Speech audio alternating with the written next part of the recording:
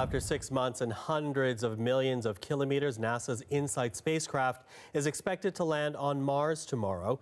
The landing itself requires a high degree of precision, and if it is successful, it will kick off two years of study about what lies beneath the Mars surface. For more, we're now joined by Farah Alibay. She's a NASA systems engineer working with InSight. She joins us right now in Pasadena, California. Farah, thank you for joining us today.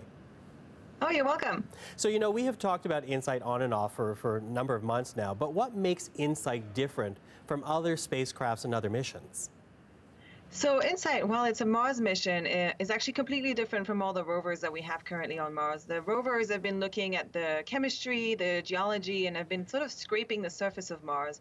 Whereas InSight is looking at Mars more globally as a planet. So we're really studying the in, the interior of Mars. Uh, we're looking at the Martian structure um, using our seismometer and our probe. Uh, one of the really neat things with InSight um, that I like to joke about with my friends who work on the rovers is they have a little scoop that maybe digs down or drills down about this much. We have a probe that's going to go down the surface of Mars by five meters, uh, and it's going to look at the heat that's being emitted from the interior of the planet. So quite groundbreaking. So ground, quite literally, as it goes down into the ground yep. some five meters. But you know, as you say that, uh, InSight, as we've been noting, has been traveling without incident for a number of months now. And in covering these stories in the past, I know that the landing can be tricky. What kind of things have to go right for the landing to actually be successful here, Farah? Yeah, I think tricky is an understatement. Uh, it's extremely difficult. We have, um, I call landing sort of a very well choreographed dance where you cannot trip in one single place. Um, so we're arriving at Mars at 5.5 kilometers per second. Uh, we have to hit the atmosphere just right, uh, at just the right angle. If we're too steep, we'll actually burn up. If we're too shallow, we can bounce off the surface, the atmosphere of Mars. Um, then as we enter, the heat shield is going to burn at 1,000 degrees Celsius. It's incredible heat. So any flaw in our heat shield could cause the probe to break up. Um, then, when we're about eight kilometers from the surface, we deploy a parachute all sorts of things can go wrong with parachutes, right? We're going really fast. It's a, it's going to cause us to to wobble a little bit. Um, following that, we have to get rid of the heat shield and then we pop out our legs. And then the scariest part to me is when we're about two kilometers from the surface, we actually cut the cord to our parachute. We separate from our parachute. I mean, you would never do that, right? Who yeah. does that? We have to do that because we need to separate from whatever the parachute is causing, you know, whatever physics the parachute is causing us to see we actually are in free fall for like a split second, and then we fire up our retro rockets, and that is what slows us down. By the time we hit the surface of the planet, we're going at less than 10 kilometers per hour, so very slow moving car at that point. Mm-hmm. Uh, but that whole sequence yeah. from that 5.5 kilometers per second down to the surface only takes six and a half minutes. So wow, so a lot of choreography in a short amount of time. Absolutely, yes. And it's all pre automated. It's actually nothing we can do here from the ground because it takes about eight minutes for the speed of light, which is the radio signals that we're getting, to come to us. By the time we get that first signal that we're entering the atmosphere of Mars, InSight will already be on the surface. I mean, mm-hmm. in one piece or many, that we won't know.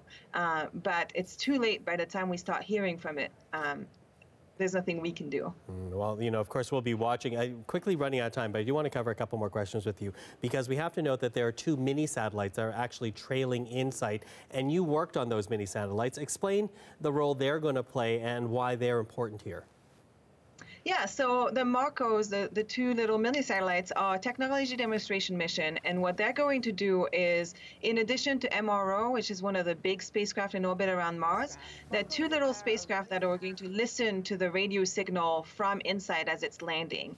Um, so if everything goes well on landing day, they will actually get that data. And unlike MRO, that will have to store it and will send us back the data four hours after landing, the little MarCOs will actually send us that data in real time.